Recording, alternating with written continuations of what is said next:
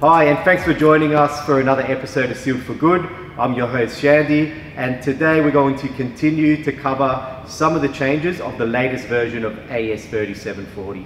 As we mentioned in the previous episode, it is important that you do reference the current version of the National Construction Code, which is available for download on the ABCB website. In today's episode, we're going to be focusing on surface falls, as it does represent some of the biggest changes to this new version of the standard. And it really is a rethink and redefining of waterproofing design and installation requirements. So let's get straight into it with a passage from Appendix B regarding surface falls.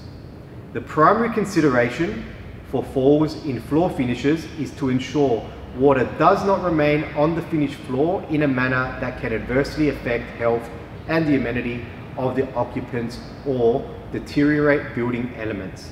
In other words, using falls to prevent water ponding on the surface, which is also defined under Appendix B as when conditions are suitable for drying and all other associated area have dried, any remaining accumulation of water is deemed ponding.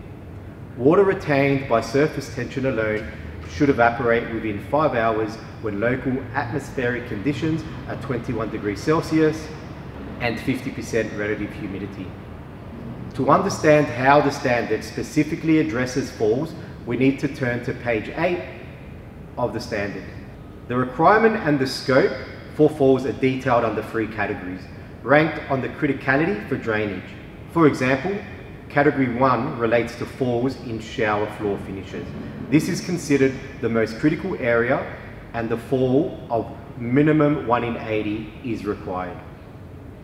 Requirements for Category 2 and Category 3 areas are listed respectively. So how has this changed from the previous standard? The change relates specifically to the falls relative to the waterproofing system as defined under point 2.3.1 where it states, where a floor waste is required in a wet area, the membrane shall be applied to a substrate with a minimum of 1 in 100 fall towards the floor waste. So using the previous detail from AS37 2010, it wasn't uncommon to see a membrane being applied in a shower over a surface without gradients or any falls built in towards drainage. Now the membrane will need to be applied over a surface with a fall. Waterproofing over the screed can be considered best practice, but it's not mandatory. So what are the advantages or positives of the new requirement? Having a floor waste in a flat, ungraded fall is not best practice, as it simply increases the chance of sub-tile, sub-screed moisture even more so when a membrane has not been installed over the screed. So this new directive can be seen as a logical step in reducing common risks.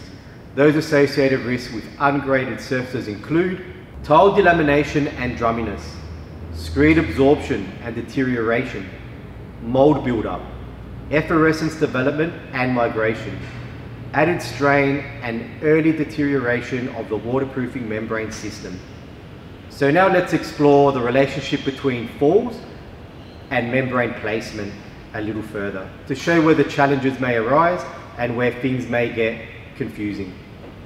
The extent of the membrane application under the latest version of AS3740 is still governed by enclosed versus unenclosed showers.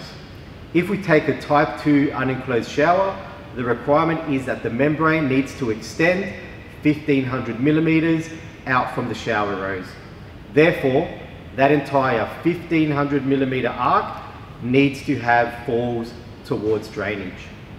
This may present a challenge for screed requirements in the shower versus outside the shower area, particularly if there are multiple wastes in that floor area. The new standard also includes provisions for single drain wet areas with single directional falls terminating at linear drains. So with the new amendments to the standard, what changes might we see from a waterproofing installation viewpoint?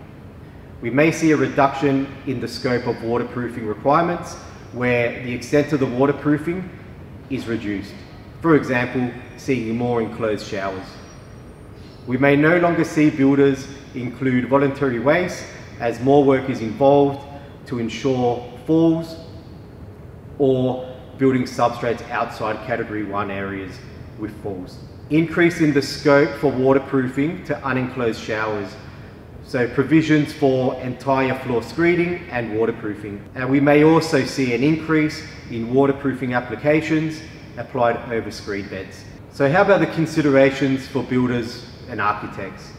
There's likely going to be a greater emphasis on bathroom designs to meet requirements of the standard. For example, finish heights at doorways, tile dimensions. Bigger tiles will mean greater control of the gradients. Understanding how the type of shower design will impact and determine falls. Practicality of placement of drainage relative to the shower and general bathroom designs. Scheduling of screeding and waterproofing works if needed to generate falls. Practical inclusions of voluntary drainage when considering requirements for falls. Screed design, bringing screed engineered mixes into the spotlight for consistency to avoid common issues associated with site mixes, for example, mechanically weak, high sand to low cement ratios, high water ratio, highly absorbent, friable, and prone to cracking and dusting. Remember that what we're covering over these episodes is really just a snapshot and the major changes to the new version of the standard. We highly recommend that you all jump on to the Standards Australia website and purchase a copy of AS 3740 2021 so you have a reference in its whole entirety. Thanks for joining us for this episode of Sealed for Good. We hope you found it informative. Uh, if you have any questions, please leave a comment. Uh, don't forget to subscribe if you haven't already. And here's a little extract of a testimonial from our latest session of GAPP training. Until then, happy waterproofing. Just to better familiarise ourselves with the waterproofing systems, Yeah. mainly offered by Gripset and how they work with the standards. really uh, expand my knowledge in waterproofing, to give my apprentice more knowledge too. better understanding of how to use the sheets. look a bit more professional towards the builders, um, offering the workmanship warranty. get a better insight into waterproofing in general. So yeah, as a builder, I think that's something uh, we tend to neglect, and uh, just to get a better understanding of what to use, how to use, and